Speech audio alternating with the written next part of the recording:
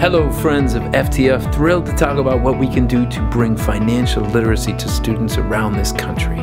FTF believes every student deserves a fair shot, and financial education at a young age is the cornerstone of that belief. Putting music with money is a proven way of presenting this message.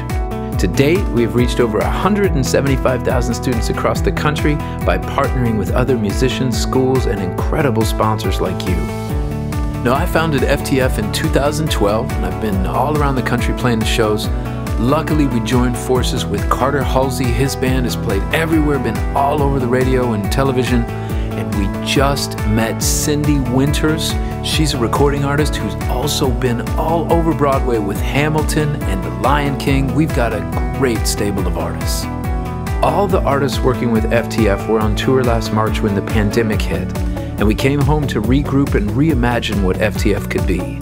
Live streaming events from our brand new soundstage and studio here in Nashville, Tennessee has proven to be the most effective solution. Using a proprietary streaming platform, students are able to watch the band's live musical performances and financial literacy presentations, while at the same time interacting with the band live with our in stream chat feature. We've done around 25 shows so far, and the data speaks for itself. We could not be more pleased with the students' reactions. Now more than ever, financial literacy must be at the forefront of education. We like to say music makes the medicine go down. After playing a concert, we expose some of the myths and hype about money and some of the mistakes we made. We break down the principles of finance, we do some Q&A, and we hope that young people will see their dreams as possibilities no matter where they start from. We look forward to bringing FTF to a school in your community soon.